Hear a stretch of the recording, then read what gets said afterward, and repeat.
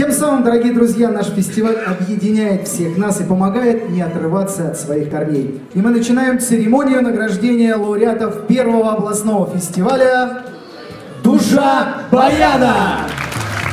Сразу двоих. Но э, так не получится. Вы же лауреат и лауреат. Правильно? Тогда нужно какой-то э, честный способ найти, чтобы определить, кто из вас первый будет сейчас выступать. Вот, камень, ножницы, бумага. Самый честный способ. Давайте. Все по-честному, дорогие друзья. Звон колоколов, красота русских берез, золото ржаного поля.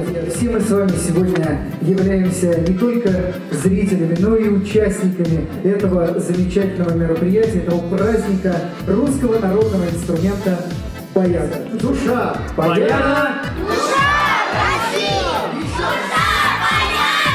Душа России! Молодцы, аплодисменты! Я уверен, что следующий номер будет как настоящий вкусный, красивый торт на празднике.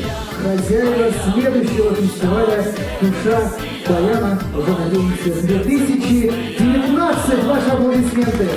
Родина милая, Родина светлая, все в тебе дорого. Песня заветная, зори лучистые, росы хрустальные. Детство тропинки станции дальние.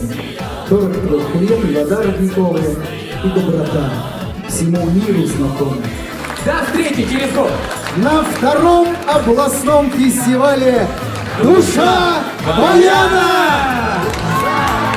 Еще раз, «Душа Баяна». Душа России! Душа, Баяна! душа,